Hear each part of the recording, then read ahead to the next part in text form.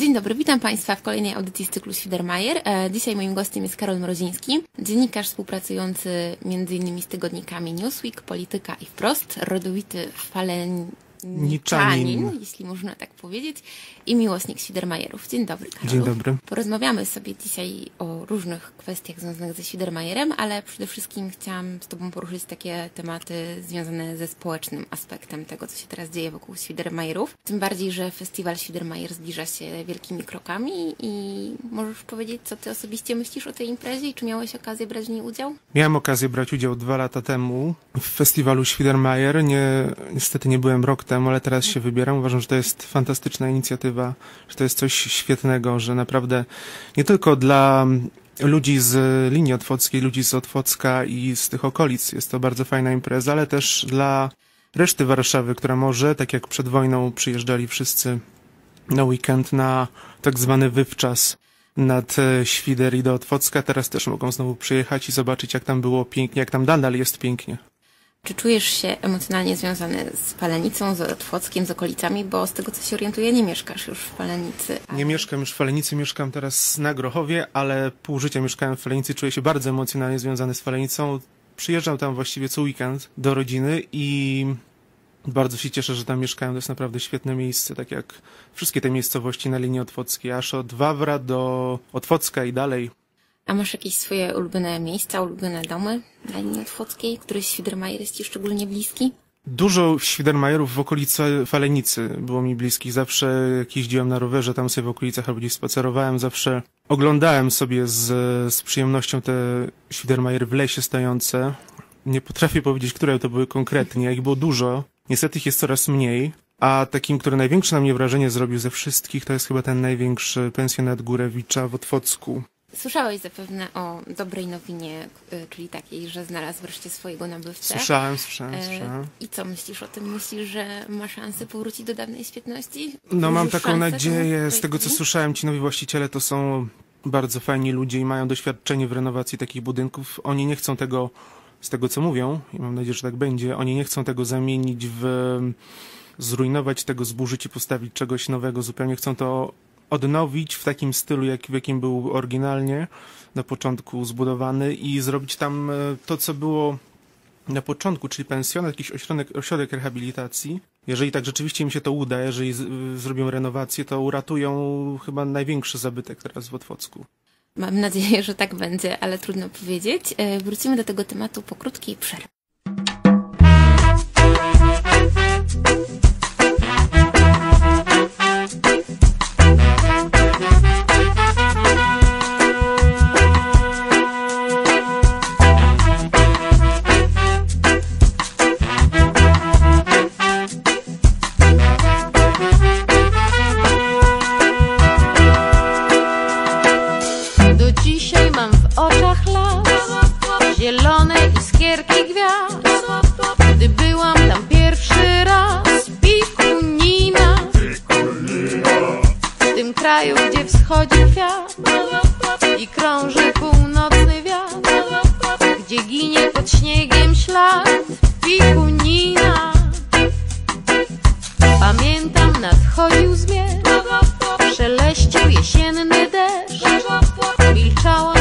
Już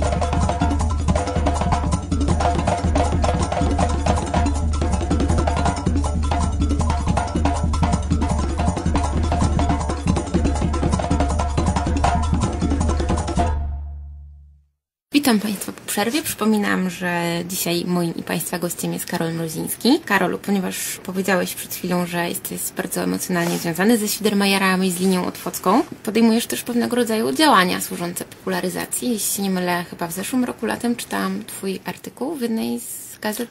Wproście, tak. Napisałem artykuł Społeczni Konserwatorzy Zabytków, poświęcony głównie kampanii na rzecz ratowania Świdermajerów. Kocham Świdermajery. Pisałem o festiwalu Świdermajer.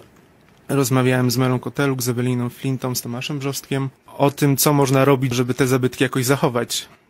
Jakieś dalsze artykuły, może jakąś serię artykułów, żeby pokazać ludziom, że Świdermajery są ważne i warto je chronić. Tak, tak. Planuję jeszcze jeden y, większy artykuł poświęcony już w całości Świdermajerom i ludziom, którzy starają się je uratować.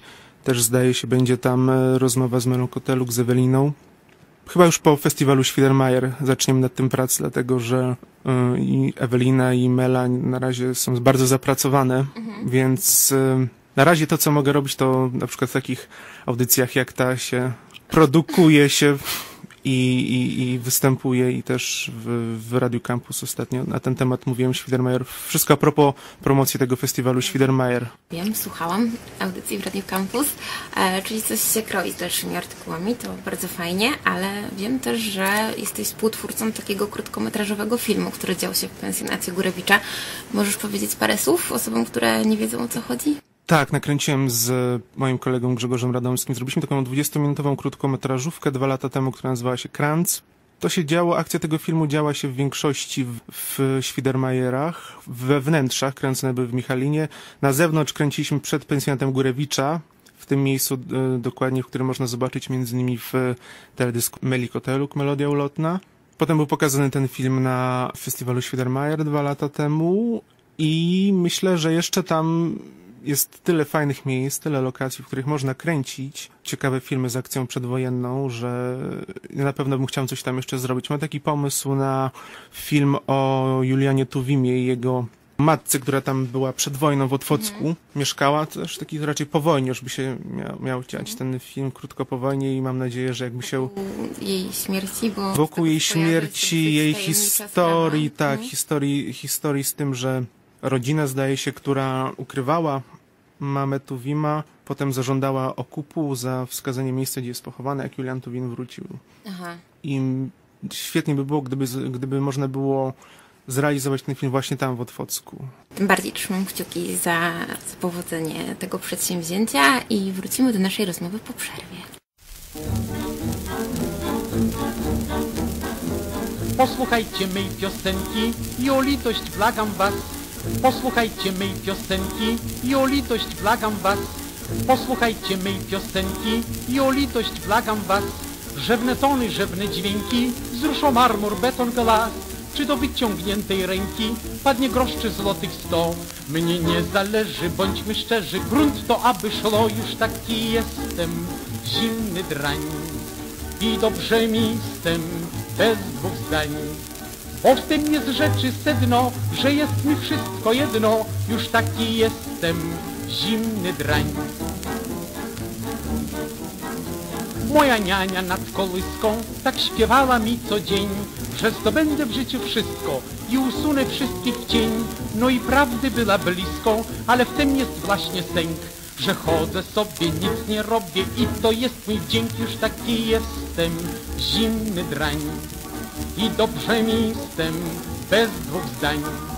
Bo w tym jest rzeczy sedno, że jest mi wszystko jedno, już taki jestem, zimny drań. Kto mi z Państwa tu zazdrości, mej rodzinki, wujków, cioć, powiem krótko i najprościej, gwiżdżę na nich do stokroć, choć ich brak mych uczuć złości, swoje zdanie o nich mam. I jeśli chcecie, to w komplecie ich odstąpię wam, już taki jestem, zimny drań. I dobrze mnie jestem, bez dwóch zdań. Bo w tym jest rzeczy sedno, że jest mi wszystko jedno, już taki jestem, zimny drań.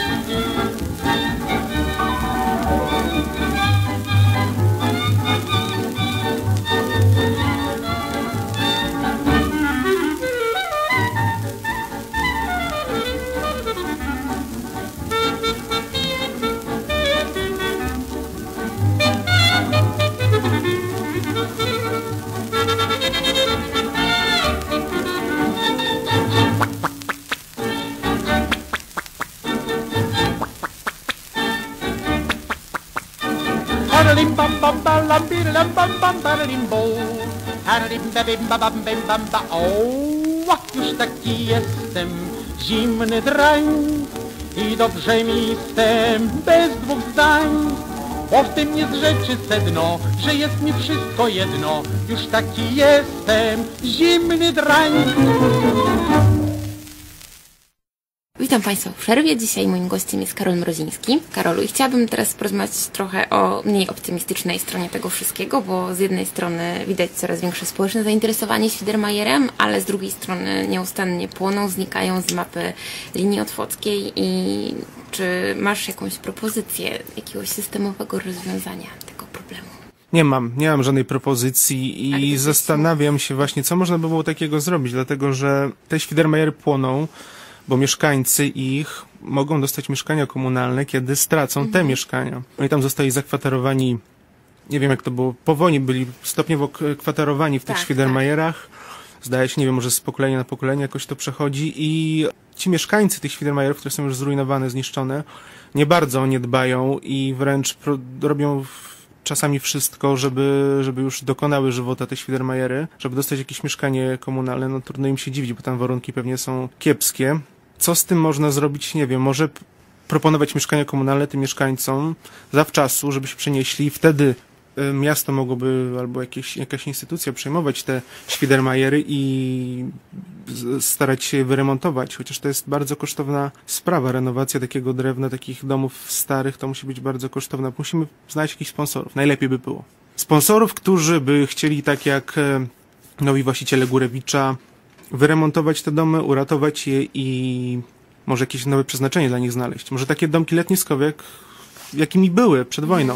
To byłoby coś fajnego. Myślę, że na pewno byłoby to coś fajnego i na pewno jest to bardzo kosztowna sprawa, żeby takie Sidermajery przywracać do życia, ale czy nie sądzisz, że mimo to władze wykazują jakby taki całkowity brak zainteresowania, bo wiadomo, że nikt nie wyłoży z dnia na dzień wielkich milionów na remontowanie tych budynków, ale nie sądzisz, że mimo to mogliby wykrzesać z siebie nieco więcej i bardziej angażować na przykład w różnego rodzaju akcje społeczne? Powinni, dlatego że to jest największa wartość, e, jedna z największych wartości tych, tych, tych okolic, to są te domy. Oprócz przyrody oczywiście, jeżeli władze miasta e, zgadzają się na to, żeby powoli te wszystkie Świdermajery zniknęły i na ich miejsce postawić jakieś ochyctwa murowane, ceglane albo wręcz jakieś sklepy, blaszane pudełka, no to, to tylko na tym stracą władze Otwocka i władze tych e, miejscowości wszystkich okolicznych i nic z tego nie będzie dobrego, więc apeluję zawsze do władz miejskich Otwocka i tych innych e, miejscowości, żeby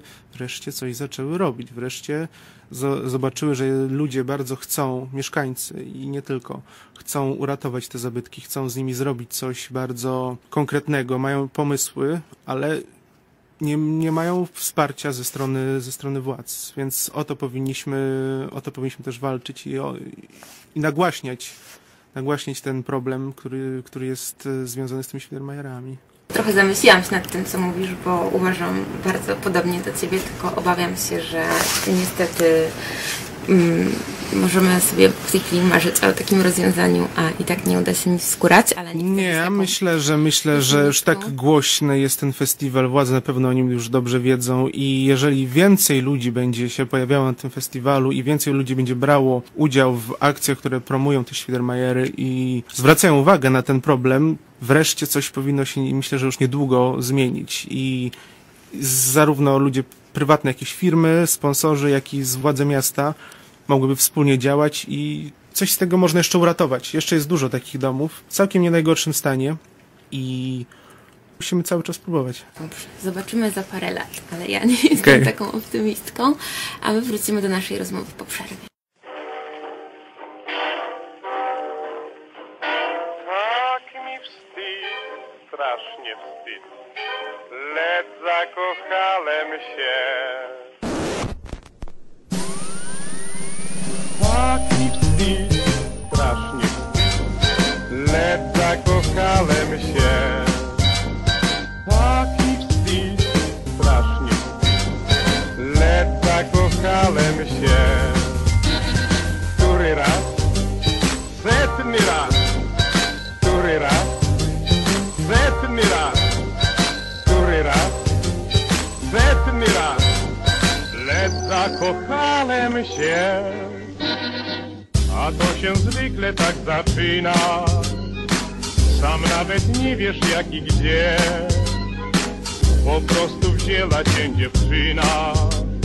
Potem jest już z tobą źle. Taki wstyd, strasznie, lecz zakochałem się. Taki wstyd, strasznie, lecz zakochałem się. Który raz? Setny raz. Który raz? Setny raz. Który raz? Setny raz.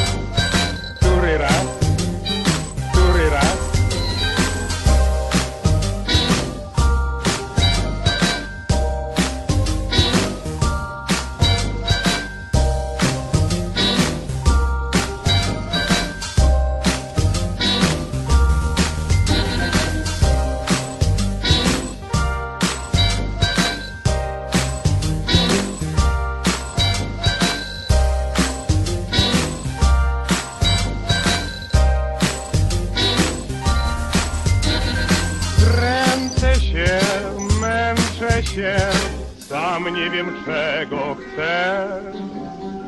Bo to się zwykle tak zaczyna, sam nawet nie wiesz jak i gdzie. O całym świecie zapominasz i kochasz, bo tak serce chce.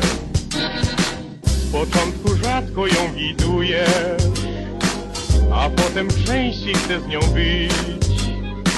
A w końcu trudno, ale czujesz, że bez niej już nie możesz żyć.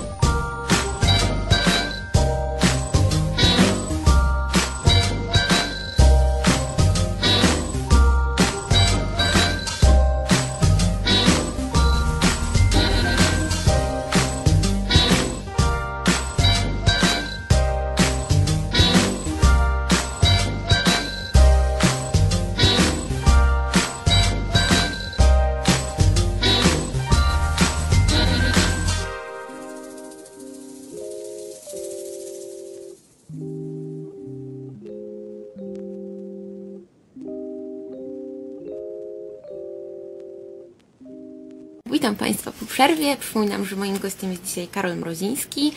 Karolu, a czy mógłbyś zachęcić ludzi do przyjścia na festiwal i powiedzieć, Mógłbym, dlaczego tak. warto tam być? Warto tam być przede wszystkim dlatego, żeby wyjechać na jeden, dwa dni na weekend, czy wyjechać z Warszawy, z zatłoczonej Warszawy śmierdzącej, pojechać sobie kolejką 20 minut zaledwie albo samochodem do Otwocka, bardzo miło spędzić czas, poddychać tym świeżym powietrzem, które sosny emitują, poddychać tym powietrzem, spotkać się z fajnymi ludźmi, wziąć udział w bardzo ciekawych akcjach, które są na tym festiwalu Świdermajer, posłuchać sobie fajnej muzyki, zobaczyć, jak, jak wyglądają rzeczywiście te zabytki, bo mało kto wie. Coraz więcej się mówi o Świdermajerach, jak e, ludzie, którzy ich nigdy nie widzieli, nie wyobrażają sobie właściwie, jak one wyglądają, czym one się charakteryzują i tak dalej.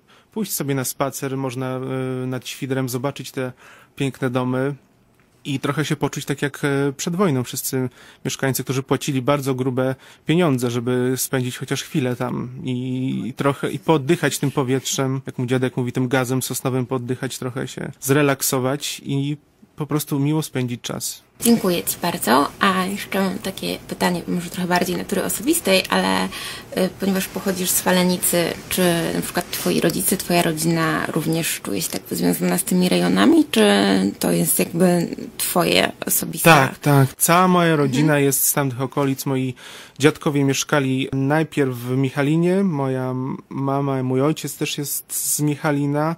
Cała właściwie moja rodzina jest z tej linii otwockiej. Dopiero potem ja się nieszczęsny wyprowadziłem na ten Grochów, czego żałuję i zamierzam się tam wrócić czym prędzej do tej Falenicy i wszystkich y, zapraszam bardzo serdecznie, żeby zobaczyli jak tam jest wspaniale, jak tam jest przyjemnie. Dziękuję Ci bardzo za rozmowę i za przybycie, a my słyszymy się za dwa tygodnie i oczywiście widzimy się na festiwalu, również z Karolem. Tak Będzie jest. Do zobaczenia, serdecznie. dziękuję.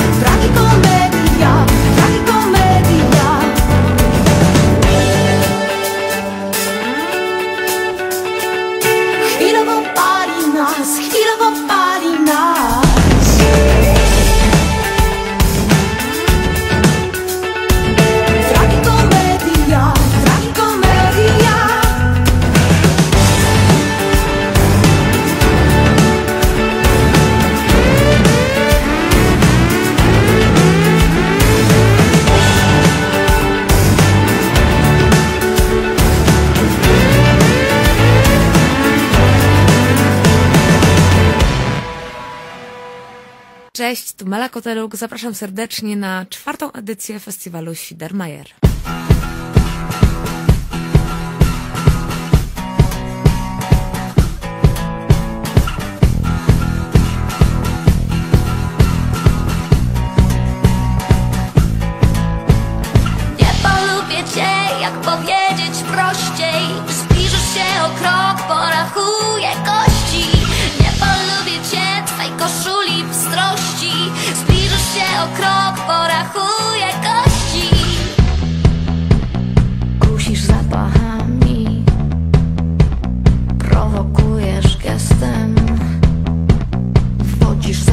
wzrokiem Czterogłowym smokiem.